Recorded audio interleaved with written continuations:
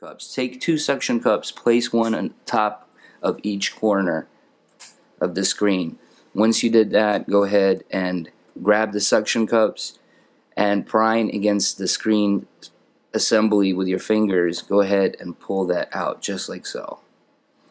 It'll come right out and that's it. The screen is being held in by eight screws. There's four on this side, one, two, three, and four.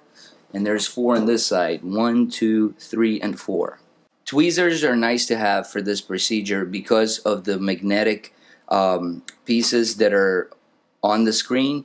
When you unscrew a screw, the magnetic piece might take the screw over. So you want to be able to get it out with a pair of tweezers.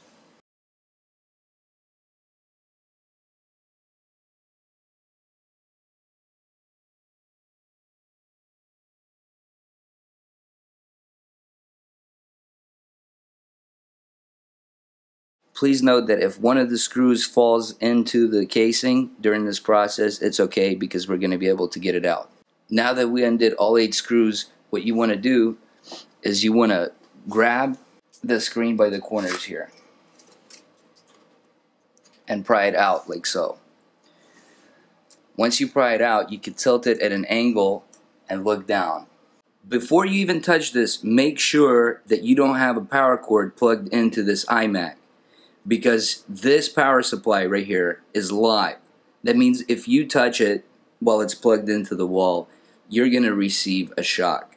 While you have the LCD cracked, what you want to do is in the top left corner right here, there is a cable. This cable, you could just grab it with your fingers and just gently pull to the right on it. Comes out just like that by pulling this cable out, it, this will allow you to lower the screen a little more. The next cable we want to remove is the uh, power cable from the converter for the LCD. You can remove this by getting your fingernail on this latch right here and just pulling it towards you and pushing it down like so. The next cable we want to remove is your LCD temperature sensor. You can grip this and pull up on it. It'll come right out. The next cable we want to remove is the uh, video cable from the LCD. It has two little feet that you can press, squeeze together, and just pull up. Now that those cables are out, we can go ahead lift up the LCD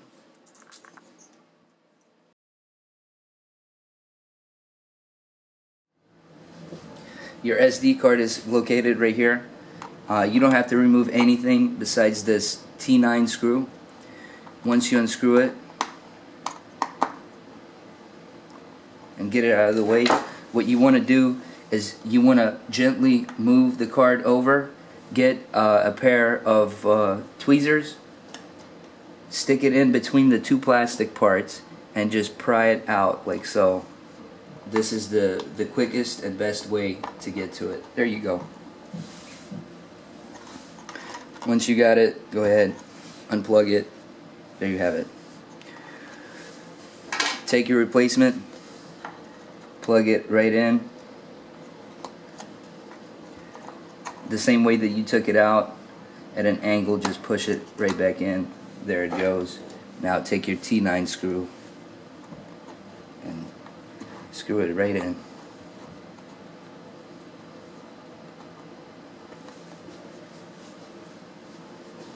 To reinstall the LCD, you want to go ahead and take the LCD unit and put it in at an angle like this on the bottom first. Be careful as the iMac might turn. Um, you want to be able to hold it very firmly and the iMac can control its uh, upward and downward movement. First off, we want to go ahead and plug in the temperature sensor. Once the temperature sensor is plugged in, the next thing we want to plug in is the LCD converter. Just click it right in like so. The next thing we want to plug in is the actual LCD cable.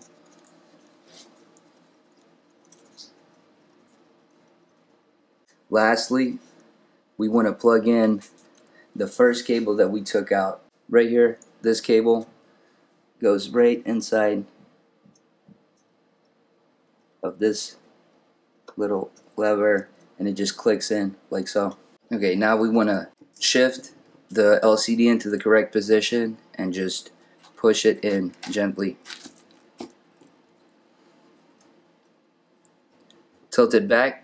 Something to note when reinstalling these T10 screws uh, when you're putting the LCD back together because it has magnets on the side here uh, it's very difficult. Try to use a magnetic screwdriver. If you don't have a magnetic uh, T10 screwdriver try to use a combination of tweezers uh, and and the screwdriver at the same time. Reinstall 410 T screws on each side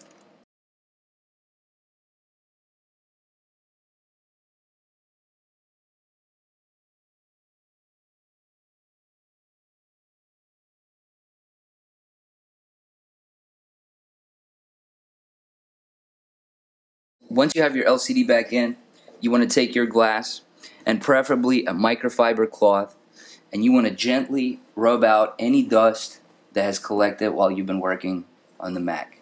Then you want to do the same exact thing with the screen. Doesn't have to be perfect, but just nice and clean.